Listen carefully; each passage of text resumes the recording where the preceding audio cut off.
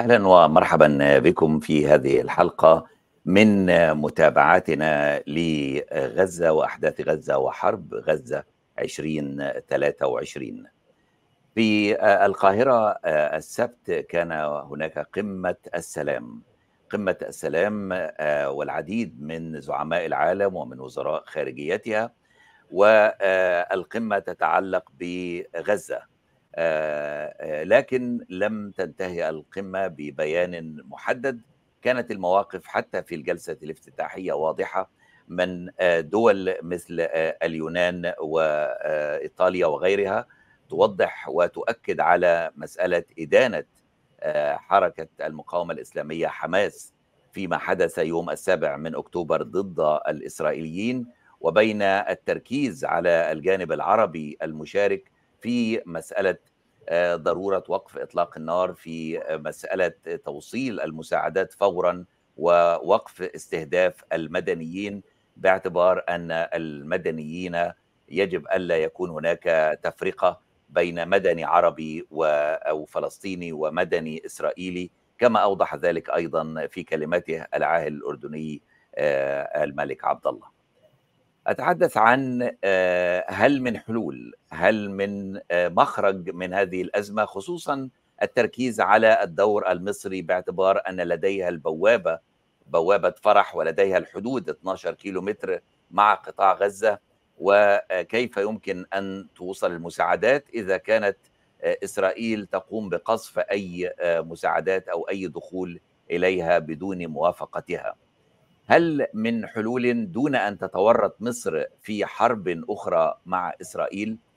في الواقع لفت انتباهي في شهر مايو الماضي وقبل هذه الأحداث مقالان مقالان كتبهما في موقع مصر 360 السفير المصري السابق أيمن زين الدين يتحدث فيه عن أن مصر يجب أن تتحول من الدفاع إلى الهجوم في علاقتها مع إسرائيل في ضوء أننا نتعامل مع حكومة متطرفة للغاية ويوضح أن هذا الأسلوب يمكن أن يتم دون انتهاكات لاتفاقيات كامب ديفيد دون انتهاك لأي شيء دون أن تخسر مصر علاقاتها الدولية.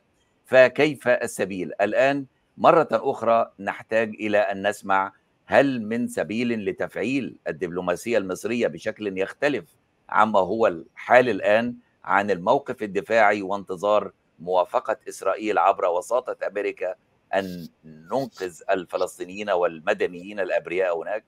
أرحب في هذه الحلقة بضيفي من القاهرة السفير أيمن زين الدين. مرحبا بك.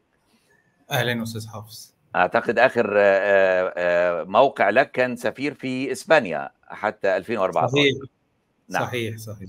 لنتح... لنبدأ اولا بقمة السلام. ما, ما يعني لا أدري لماذا اختيار كلمة قمة السلام لها وهل كانت مفاجأة الا يكون هناك بيان مشترك؟ طالما أن ليست قمة عربية حتى يكون الموقف العربي واضح ولا هي قمة دولية تم الاتفاق على مخرجاتها. في رأيك ما المشكلة؟ اولا تحياتي وتقديري الشديد للعمل اللي بتقوم بيه من من مكانك وبترجعنا لذكريات من واشنطن سنين طويلة ويعني أتمنى إنك تستمر في هذا. إجابة على سؤالك. من غير شك إنه حدوث أمر كالذي نشهده في في غزة حاليا واللي هي أقرب نقطة لمصر ومصر بتكون أكثر دولة تاثرا بما يجري فيها يستدعي من مصر التحرك. مستحيل مصر تشوف ده ويبقى شاغلها الوحيد أمور صغيرة تفصيلية ترتيبات أمنية على خط الحدود. لابد إن مصر تنشغل بما هو أكثر من ذلك لمصلحتها وبحكم مسؤولياتها. فالدعوة للقمة دي كان شكل من أشكال التصرف الطبيعي اللي الحكومة المصرية لابد إنها تعمله لمحاولة التعامل مع الأزمة والخروج منها. مشاركة الدول الواسعة الحقيقة يعني عدد كبير من الدول شاركت. دليل على نمرة واحد إنه إدراك لقيمة مصر ولما مصر توجه دعوة الناس بتستمع لها. كمان إدراك لخطورة الأزمة وإن مطلوب يكون فيه تحرك دبلوماسي. وربما لا أستبعد على البعض على الأقل الرغبة في إن هم يكونوا متواجدين لضبط إيقاع ما سيصدر عن القمة لكي لا يبتعد كثيرا عما يتصورونه إيه المسار السليم. أو المسار السليم من وجهة نظر مصالحهم. الحقيقة ده شيء وما حدث في القمة وما نتج عنها شيء تاني. أعتقد طبعا إنه كان في خيبة أمل شديدة إن القمة ما خرجتش بنتيجة ويكفيني في ذلك الإشارة إلى النبرة اللي فيها قدر من الأسف في البيان اللي صدر عن رئاسة الجمهورية في مصر إنه يبدو فيه إن مصر كانت تتمنى إن القمة يخرج عنها أكثر من مجرد لقاء لطرح كل دولة طرح ما لديها من مواقف ونخرج كما دخلنا فبالتأكيد في خيبة أمل. وأعتقد إنه ده جزء منه ناتج عن الشقة واسعة جدا في المواقف بين بين الأطراف تحديدا زي ما أنت تفضلت ما بين الدول الغربية من ناحية وما بين الدول العربية من ناحية ثانية وبعض دول العالم الثالث اللي تحمل نفس وجهة نظرنا. المسافة واسعة. إنما كمان ده كله بيطرح تساؤل إحنا خدنا الخطوة دي هل كنا متوقعين ده ولا اتفاجئنا بيه؟ ده ده بقى سؤال سؤال أنا ما عنديش إجابة عنه. هل أيضا هل أيضا كان في توقع إنه الرئيس بايدن يشارك حين تم التفكير فيها حين جاء بلينكن وزير الخارجية الأمريكي وبدأ التسريب كلام على إنه بايدن سيشارك في مصر في يوم السبت وسيأتي ثم تحرك الوضع إلى تعالوا لي على على الأردن ثم مع ضرب قصف قصف المستشفى لم تعد الظروف تسمح. طبعا أنا ما ما عنديش المعلومة أكتر من التسريبات اللي, اللي سمعناها لأن أعتقد إنه مثل هذه الأمور بيتم تداولها في دوائر صغيرة جدا. واعتقد إنه ال ال ال الإدارة الأمريكية حتى لو كانت في لحظة فكرت في الفكرة دي أدركت بسرعة إنه فرص خروج القمة بنتائج تتفق مع اللي أمريكا شايفاه واللي هو بوضوح منح إسرائيل الغطاء الكافي إنها تعمل مع تبرات الولايات المتحدة دفاع عن النفس تصورها إن القمة تخرج بنتائج تسير في نفس الاتجاه ضعيفة جدا ففضلت إن الأمور تقتصر على اللي اقترحوه القمة الرباعية اللي زي ما أنت بتقول نصفت مع المستشفى المعمداني ف هل كان واجب مصر. هل كان واجب مصر تعمل نفس الموضوع إنه كما ألغيت الأحداث تطورت بشكل لم يعد يحتمل أي تقارب في وجهات النظر الأوروبية الغربية مع العربية إنه كما ألغيت عمان يجب أن تلغى القاهرة. شو أستاذ حافظ أنت الحقيقة بت بتطرح سؤال يثير شجون. أنا لا أنت ولا مستمعينك يعني تحبوا تخشوا في أدق دقائق تفاصيل العمل الدبلوماسي لكن عادة الطرح مبادرة دبلوماسية فريدة ونادرة وحساسة في لحظة زي دي يعني له له تقاليد وله قواعد. لابد إنه يسبق الإعلان عنها حد أدنى من التشاور مع مع عدد من الدول المهمة للتأكد إن الخطوة دي ستلقى الترحيب المطلوب إن التوجه اللي مصر عايزاه لأنه هدف مصر إيه؟ قبل ما حتى أدعو لقمة لازم أبقى محدد هدفي. هل أنا هعمل لقاء يعني مجرد إنه بيوجه رسالة كده إنسانية لوجوب البحث عن السلام ولا هي لتوحيد مواقف ما بين المشاركين؟ هل دول مشاركين ممكن تتوحد مواقفهم؟ هل هي هتبقى تشهد عملية تفاوض على طب هنعمل إيه في في دخول المساعدات؟ طب هنعمل إيه لوقف إطلاق النار؟ طب ولتسليم ال ال ال الأسرى من والمسجونين من الجانبين؟ كل واحدة من دول تحتاج لقدر من الإعداد لوضوح رؤية مسبق حتى قبل طرحها ثم جهد شديد الكثافة. إحنا مش في لحظة عادية مش بندعو القمه دورية لتنظيم دولي مستقر. إحنا. بن... دي قمة أزمة. ونختار مين اللي ندعوه ندعوه إزاي وإزاي نتحرك ل... لكسب الناس لوجهة نظرنا لتطوير أفكارنا ل... لضمان إنها تحظى. يعني شعوري كده إن إحنا اتحركنا بدافع القلق والانزعاج والرغبة في إن إحنا نعمل حاجة لكن ما شفتش أنا على الأقل وربما يعني يكون خفي عني تحركات مهمة ما شفتش تحركات توصل للنتيجة لكن النتيجة بتقول إنه لأ ما حصلش ما, ما خرجتش القمة بما كان يؤمل منها وزي ما قلنا حتى حتى بيان الرئاسة المصرية كان فيه شيء من من التعبير عن الاستياء. كده المنطوي الضمني. هل على حتى لو اقتصرت على المستوى العربي أيضا هناك اختلاف في وجهات النظر خصوصا الموقف الإماراتي الذي حرص رئيس الإمارات أن يحضره وهو قريب جدا من الموقف الأمريكي والإسرائيلي.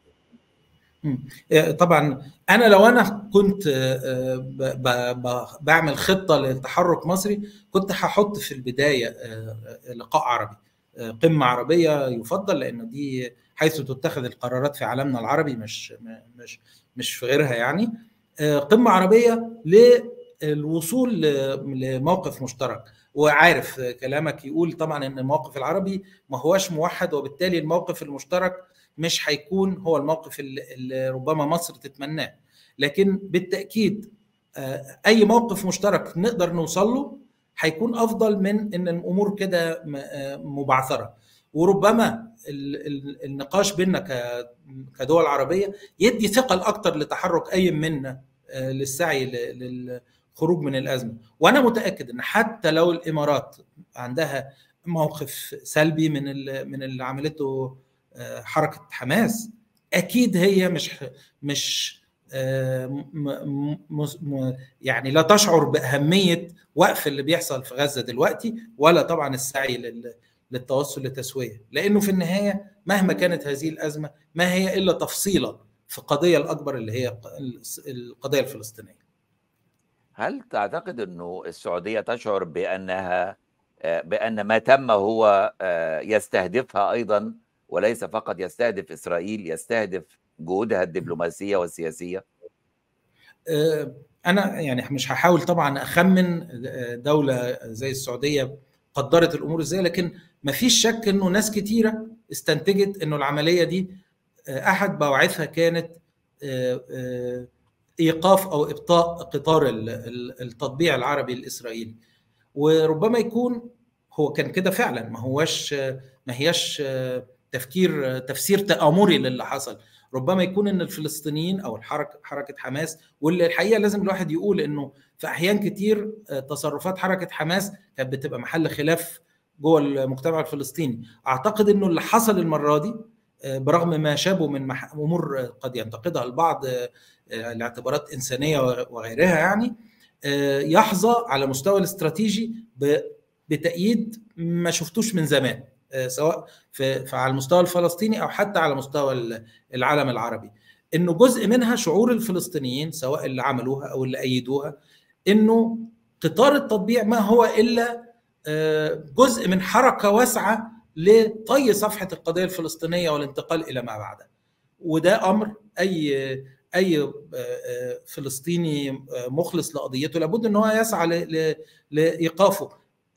كنا ننتقدهم لو عملوا حاجة ضد المملكة أو كده واعتبر يعني إيه زي ما كان في وقت من الأوقات استهداف الأشقاء لبعضهم البعض وسيلتهم لتحقيق أهدافهم السياسية. ما اللي حصل ما كانش موجه للمملكة حتى لو كان موجه لأمر أو أحد نتائجه أمر يتعلق بالمملكة. أعتقد إن الفلسطينيين كان شاغلهم الأكبر هو إنه حاجات كتيرة بت بتؤد بتعني طي صفحة قضيتهم إن هم خلاص أصبحوا مشكلة أثرية لا تملك لا يملك أصحابها من القوة ما يمكنهم من فرضها وبالتالي خلينا نشوف بقى الأمور التالية. بهذا التفسير أنا أقدر أشوف إنها أثرت على التطبيع لو السعودي لو لو تحولنا إلى رؤيتك التي وضعت كما ذكرت في المقدمة من مايو الماضي يعني يعني لا علاقة لها بهذا وإذا بهذه الأحداث تعيدنا مرة أخرى للحديث عن إنه في رأيك أن السياسة الخارجية المصرية بالذات مع إسرائيل يجب أن تتغير وحين تتغير لا نقصد بهذا لا انتهاك للقانون الدولي أو لكامب ديفيد ولا نحن نريد أن ندخل في حرب. كيف تتدخل وتكون هجومي مع شخص متهور على الجانب الآخر؟ تمام. الحقيقة مش من أي أسباب رضايا عن نفسي إنه إنه المقالات دي كانت رسالة فيها فيها قدر من التحذير إن إحنا داخلين على مزيد من من الاضطراب وإن الاضطراب ده هيمس مصر وإنه ربما يكون كان في فرصة وغالبا عمر التاريخ ما بيقول إنه الفرص لها آخر يعني إنما وقتها كانت فرصة ربما أفضل من من اللحظة دي. لاستباق هذا الاضطراب والتدهور بمراجعة المعادلة إنه معادلة عملية السلام لنقل اللي بدأت من من من مؤتمر مدريد سنة 91 حتى انهارت عمليا سنة 2001 بانتقال الحكم في في إسرائيل وأمريكا لحكومات مضادة للتسوية واستمرار ابتعاد هذا الهدف اللي حوله إلى حلم ثم إلى ما ربما يصفه البعض بأنه سراب. ده كان شعوري إن إحنا مصر محتاجة تغير عدة الأدوات ال toolbox بتاعها تغير ال software. ما ينفعش نفضل شغالين على إن في عملية سلام إحنا مستنيين لحد ما يجي الظروف المناسبة للانتقال لها وهي خلاص بتنتهي. ما فيش عملية سلام. ما إسرائيل ما مش مش معتبرة إن في عملية سلام ولا إن هدف الدولتين هيتحقق. المجتمع الدولي كل ما تحصل حاجة يقول لابد ألا نتنازل عن حل الدولتين كما لو كان إن ده في حد ذاته إبقاء على ال على ال على الهدف لكن من الناحيه العملية كانت خلاص بتتوارى.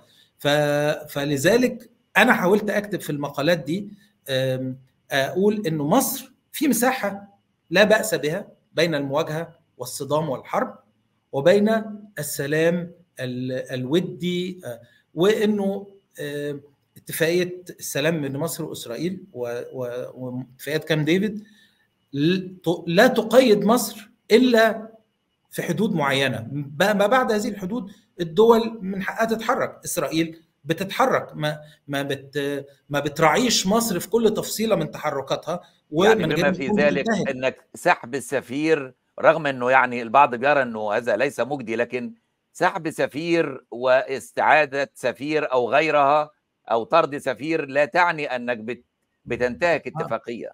آه. على قد ما هي خطوات رمزية. هي اتعملت قبل كده يعني في ظل اتفاقيات اتفاقية السلام اتعملت على الأقل مرتين كبار يعني ولم يحل ده دون استمرار معاهدة السلام ولم يعتبر بأي مقياس انتهاك. إنما اللي, اللي أنا أي ظروف لو أي ظروف عفوا عن المقاطعة أي ظروف حصل فيها هذا. غزو لبنان و واستمرت لحد ما توصلنا إلى اتفاق التحكيم في طابا لو تذكر يعني في نعم. في النص الأولاني من 82 يعني بدأ من 82 لغاية نهاية نعم التحكيم آه. آه لحد ما قبلت إسرائيل بالتحكيم أعتقد إنه بعد ما قبلت وبدأت عملية التحكيم رجع السفير والمرة الثانية حصل فيها عدوان إسرائيلي شديد لكن حدثت يعني آه إنه انما حدثت حدثت بشكل و... بشكل رسمي وليس يعني إنه ما حدش يعرف إلا الناس الدبلوماسيين و... فقط يعني. لا لا لا علني ورسمي وتدخلت الولايات المتحدة وسعت لإنهاء الأزمة لحد ما ما انتهت في في الحالتين يعني. ف فإنما اللي أنا بقصده لما بقول إن مصر تاخد جانب أكثر مبادرة أكثر هجومية بالمعنى الدبلوماسي والسياسي دون انتهاك المعاهدات ودون الخروج عنها. أقصد حاجة أكبر من كده. أقصد إنه لابد إن مصر تضع هذه القضية مرة ثانية في قلب أولويات سياستها الخارجية. وما نعتبر إن موضوع عملية السلام ده كان مرحلة طويت وإن إحنا آن الأوان إن إحنا نتحرك بمقتضيات الواقع زي ما أصبح الآن. ادي عندنا حكومة إسرائيلية لها الموقف ده. عندنا مجتمع دولي ده موقفه ده الواقع العربي شكله كده وندرك إن إحنا قدامنا جبل عالي ولا مفر أمامنا من إن إحنا نصعده بكل ما في ذلك من صعوبة. مش لأن إحنا دولة غاوية وجع قلب أو إن أنا بقترح إن إحنا نوجع قلبنا برغم كل التحديات اللي بنواجهها لكن لأن ما لم يحدث ذلك هنواجه بموقف أكثر صعوبة تتحدانا بشكل أكبر من موقف ومن نقطة بداية أسوأ من ده وهنلاقي نفسنا مضطرين بقى نسعى لكده يعني هنكون حلنا مهدود أكتر والتحدي اللي قدامنا أصعب زي ما لو كنا اتحركنا في الوقت اللي أنا كنت بكتب مقالاتي فيه قبل الأزمة دي يمكن كان هيبقى صعب بس بالمقارنة بدلوقتي لا إحنا في حفرة أعمق. والجبل اللي قدامنا أشد انحدارا وقسوة. لكن البديل هو إن إحنا نستنى لحد ما نلاقي نفسنا بن بن حتى لو إسرائيل ما قررتش تطرد أهل غزة إلى إلى مصر. هي هتعمل منطقة عازلة وتقفل غزة وتقول مصر هي اللي تتحمل مسؤوليتها ومصر يبقى قدامها خيار من اثنين يا إما تقول لا إحنا مش هنتحمل مسؤوليته ونسيب 2 مليون إنسان عربي وانسان حتى إنسان بغض النظر عن على حدودنا بيواجه كل هذه القسوة. ونسكت أو نلاقي نفسنا مضطرين نتحمل المسؤولية ونشيل عن إسرائيل عبء أمنها زي ما هي بتخطط. ففي كل الأحوال هنلاقي نفسنا مضطرين نواجه هذا ربما يكون أفضل إن إحنا نبادر بدل ما نستنى لحد ما هو يجي لنا.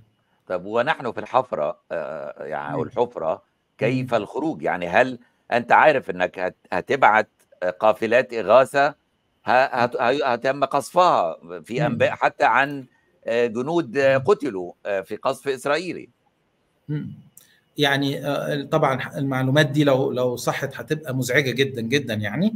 لكن إيه المخرج؟ إحنا قدام موقف في غاية في الصعوبة والتعقيد. وحتى لو حطينا المسؤولية عنه طبعا على أطراف تانية إحنا إلى حد ما مسؤولين عن جزء يخصنا فيها. إن إحنا ادينا الانطباع للآخرين إن إحنا في مساحة تسامح مع حاجات من دي إنه ربما هتلاقي كتابات في إسرائيل وفي أمريكا بتقول إنه مصر برغم كل ما تقوله عندها ارتياح ورضا للقضاء على حماس لأنه حاجات من النوع ده آه. لأنهم إخوان مسلمين و... آه, آه كلام يعني اللي يعرف عمل النظام المصري وأهم من ده اللي عنده آه آه وعي بالأمن القومي والمصالح العليا المصرية يدرك إنه مفيش حاجة اسمها كده وإن عندنا مشاكل مع قوى كتيرة تانية مش بس مش حماس أولهم ولا هي آخرهم لكن عارفين إزاي ندير أمورنا ونحافظ على مصالحنا وكمان نكون واقفين في موقف اخلاقيا متماسك لأن الدول برضو بتحسب باتزانها الأخلاقي مش مش بس بحسابات المصالح الضيقة. فلا طبعا إحنا بنواجه موقف صعب صعب للغاية لكن أول لحظة لاختبار صلابة هذا الموقف هو التعامل مع المسألة دي. إزاي ننجح في إن إحنا نقوي الموقف العربي؟ إزاي ننجح في مخاطبه الإعلام العالمي؟ يعني أنا أتمنى إن أنا أشوف كل يوم في قنوات العالم الألماني والأمريكي والبريطاني والفرنساوي متحدثين سواء من باسم الحكومة المصرية أو يعبروا جيدا عن عن مصالح مصر. يكونوا موجودين يشرحوا ويتكلموا على مش ندافع عن نفسنا عشان مش عايزين الناس تخش عندنا. ده يعني بيصغرنا. لو لو مشكلة مصر الوحيدة مش عايزين الفلسطينيين يجوا عندنا مش مش هو مصر أكبر من كده. ده جزء ما فيهوش ما فيهوش يعني تهاون لكن ده جزء الصورة الأكبر إن إحنا دولة كبرى في المنطقة علينا مسؤوليات ولنا رؤيتنا ومن ضمنها إن ما ينفعش إسرائيل تتحول إلى قوة قوة مهيمنة تفعل ما يحلو لها تنتهك ما يحلو لها وإحنا بنحاول بس إن نضمن بس ندخل عربيات المساعدات رغم رغم أهمية ده طبعا. نعم. هل هل الأشياء اللي وضعتها في مقالك يمكن اوضع بعضها؟ حضرتك وضعت التركيز على الوجه غير الشرعي وغير الإنساني غير القانوني لسياسات إسرائيل تجاه الفلسطينيين؟ إيضاح أن الموقف السلبي من المجتمع الدولي والذي يشارك في المسؤولية بقبوله الاستمرار إنه غير مقبول دعوة شركاء إسرائيل إلى مراجعة برامج التعاون العسكري والتسليحي معها. أتوقف عند الثلاث نقاط ديت ممكن توضيح أكثر على الأقل الآن ربما تجاوزتهم الأحداث. هو هو طبعا يعني مفيش حاجة تجاوزت الأحداث تماما لكن بالتأكيد لما كنا في لحظة بنتكلم على تصرفات إسرائيلية باستخدام قوتها العسكرية ضد سكان مدنيين كنا في موقف ربما أفضل نسبيا من لما بيتقال إن ده هو رد إسرائيلي على عدوان على مدنيينها وبالتالي هي بتدافع عن نفسها. طبعا الموقف اختلف لكن ما ما, ما انتهاش. آه لازم ولازم نرجع الناس للخطيئة الأولى زي ما بيقولوا الخطيئة الأولى هي وجود احتلال. وال وال ولازم نوضح للناس إنه الفلسطينيين مش بيعملوا العمليات دي كنوع من الابتزاز للأطراف الأخرى عشان يحققوا مكاسب الفلسطينيين ما عملوش الإجراءات العنيفة دي إلا لما تأكدوا يقينا إن كل الطرق الأخرى أغلقت مش عشان يحسنوا مركزهم التفاوضي مش عشان يبتزوا ويحققوا مكاسب. أنا كنت عايز أسأل أي واحد من اللي بيقولوا إن الفلسطينيين أخطأوا وربما يكون هو حقه يبقى ده رأيه. إيه اللي أنت كنت بتقترحه عليهم؟ إيه البديل اللي قدامهم؟ غير إن هم يقبلوا ان هم يعني يندثروا ك كشعب وأمة وإن تبقى المشكلة بس مشكلة بني آدمين نشوف لهم حتة يقعدوا فيها في في في خيام ومخيمات ولا ولا ما إلى ذلك. فده نمرة واحد إن إحنا نحط مسألة الشرعية والمشروعية بوضوح في قلب حديثنا عن عن سياسات إسرائيل وإنه ده طول ما إسرائيل ما بتعملش التزاماتها القانونية هي دولة ناقصة الشرعية.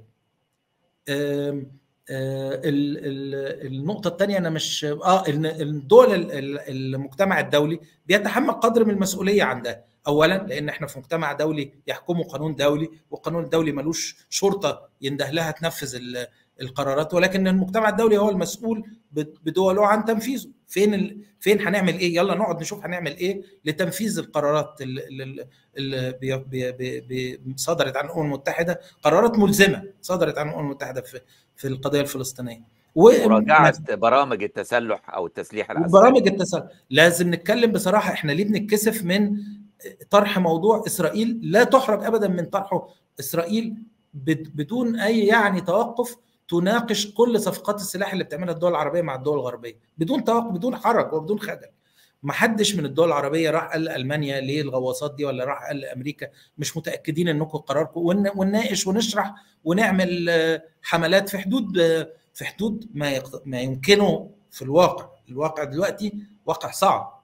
لكن أنت بتبني وطريق بطبقه بت بتقوم على طبقة وخطوة بتؤدي إلى خطوة إنما قبول الأمر الواقع إن إحنا يعني كتر خير الدنيا لما هم يعني يدونا سلاح لكن إحنا ما نقدرش نفتح بقنا في أنتوا بتسلحوا اسرائيل يعني أعتقد والحاجة الأهم ربما ذكرتها في المقال إن في مناخ مختلف في الرأي العام في الدول الغربية. مش بقول إنه خلاص الدول الرأي العام بقى مناصر لحقوق الشعب الفلسطيني لكن في واقع أنا من 20 سنة ما كنتش شايفه.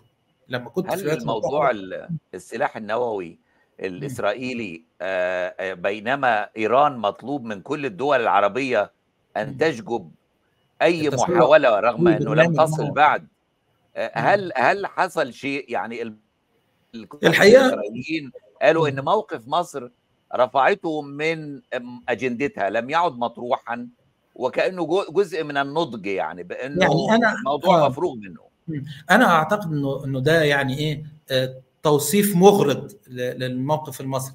لأنه برضو آه صحيح في أوقات الحكومة المصرية بتهدي اللعب بتبقى عندها أولويات تانية حسابات متعلقة بأزماتها الداخلية الاقتصادية أي حاجة تقوم تقرر إنها تقلل من الضوء. لكن مصر لم تتوقف بالمرة عن إثارة البرنامج النووي الإسرائيلي أو المنطقة الخالية من السلاح النووي في الشرق الأوسط. لكن أنت بتقول نقطة ربما في تذكر أنت في المقالات اللي أشرت لها قلت إن لابد مصر تعيد طرح المسألة دي بمنتهى القوة والحزم. ليه؟ مش بس علشان نبقى نرزل على إسرائيل ولا نحرجها. عدم التوازن الاستراتيجي اللي حاصل في المنطقة ده بيأذي مصر أذى ضخم. مش بس أمني إنما مكانتنا في المنطقة مكانتنا في العالم. مصالحنا حتى مصالحنا الاقتصادية محطوطة في مستوى أدنى مما نستحق وما يمكن بسبب اختلال هائل في التوازن الاستراتيجي في المنطقة. كلمة مين اللي تسمع كلمة مين اللي اللي تخشى مصالح مين اللي يحظر عليها؟ دي حاجة مفيش قوة في العالم مدركة لمكانتها في منطقتها بتتهاون في, الملفات دي. ما هي لا الهند ولا باكستان ولا البرازيل والأرجنتين وقت ما كانت دي قضية هناك في ولا ولا في شرق آسيا. كل الدول بتاخد الموضوعات دي بمنتهى الجدية. ده مش مش طرف دبلوماسيين مش مدركين. لا دي أسعار العيش في مصر هي الحلقة الأخيرة من سلسلة بدايتها مكانة مصر الاستراتيجية في المنطقة. هل يعني في مقالك وأيضا في المقترحات بتجد إنه المراهنة فقط على السلطة الفلسطينية في رام الله ومنظمة التحرير يجب ألا يكون هناك التعامل مع الفلسطينيين بجبهة وطنية أكبر وألا نتعامل معها كما تتعامل أوروبا مع الفلسطينيين؟ هل تتوقع إنه القمه قمة السلام في مصر كان واجب يكون فيها شخصيات فلسطينية على الأقل مستقلة إلى جانب أبو مازن باعتبار أن السلطة فقدت يعني مشروعيتها أو مكانتها أو مصداقيتها أمام المواطن الفلسطيني نفسه الذي تظاهر فقمعته على ما يحدث في غزة؟ طبعا أنا عارف إنه إدارة مثل هذه الأمور يعني يستدعي قدر كبير من الحذر والحكمة. بالتأكيد مصر كانت أكثر وأقرب من احتضنوا تطورات الحركة الوطنية الفلسطينية. من من وقت تأسيس منظمة التحرير ثم تأسيس السلطة الوطنية الفلسطينية وكل منهما أسس واحتضنته مصر ودعمته وكان لها إسهامها الطبيعي في نجاحهم لأنه ده كان تعبير عن متطلبات اللحظة. حركة منظمة التحرير الفلسطينيه كانت في لحظة الصراع. السياسة السلطة الوطنية الفلسطينية كانت في لحظة محاولة محاولة التوصل لتسوية سلمية وحل الدولتين. أعتقد إنه الواقع دلوقتي لا هو واقع منظمة التحرير الفلسطينية بشكلها القديم ولا هو واقع السلطة الوطنية بشكلها اللي ارتبط بأوسلو بما تحمله من مسؤوليات على الشعب الفلسطيني يعني مسؤوليات ظالمة.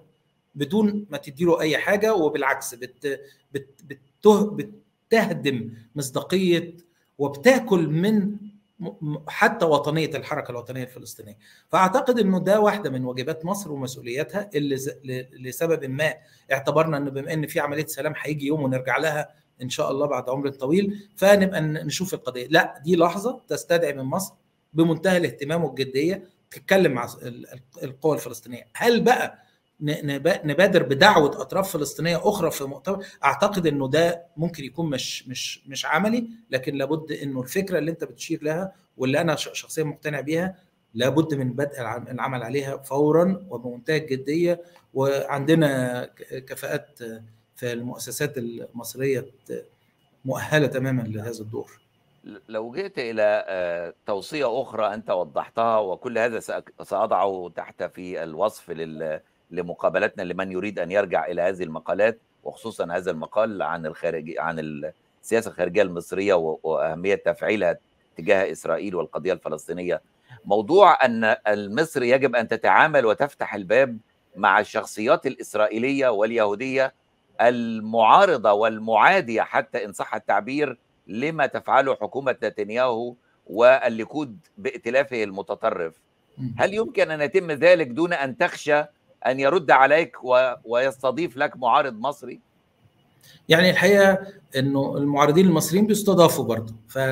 فدي إنما أنا شخصيا رأيي إنه طبعا لابد إن المعارضين المصريين يكون لهم فرصتهم التامة مش بس من يستضافوا في الإعلام العالمي إنما قبل ده كله في إعلامهم الوطني وغياب وغياب المعارضة المصرية عن الإعلام الوطني حاجة ما هياش في مصلحة مصر هي ضد مصلحة مصر خلينا نقول. بس ده ده هي ده, ده, ده تفريع عن موضوعنا الرئيسي. موضوعنا بمناسبه التفريع أيضا أعتقد إنه آه إنه هذا ما حدث في المظاهرات الأخيرة إنه الدولة حست إنها تحتاج إلى متظاهر لكي تذهب إلى صانع القرار الأمريكي وتقول له أنا انظروا أنا عندي شعب يرفض ما يحدث لأنها تساعده.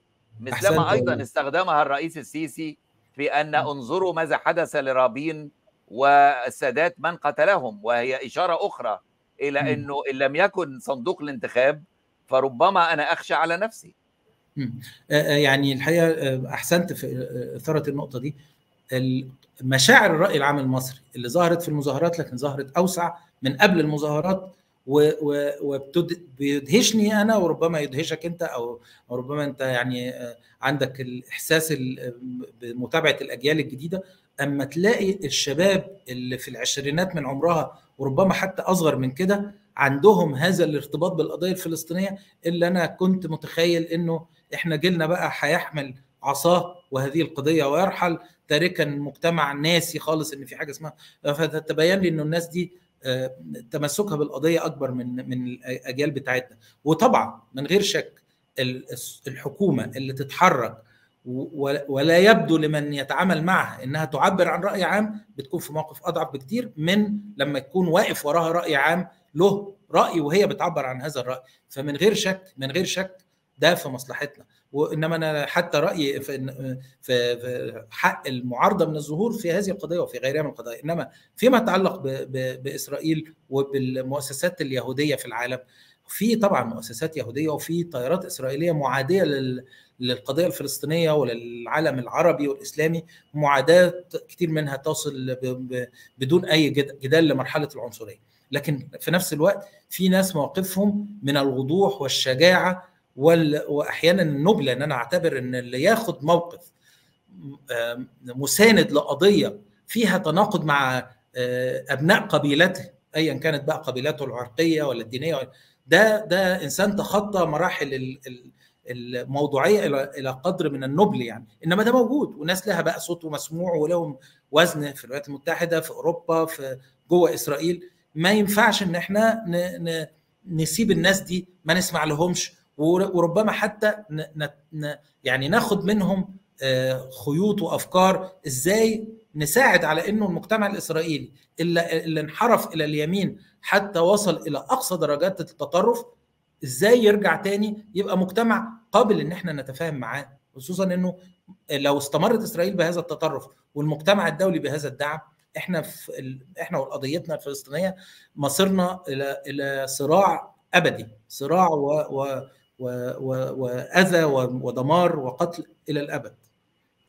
آه الخط الأحمر في بالنسبة لليبيا كان عند سرت. بالنسبة لمصر هل هو عند حدود رفح المصرية؟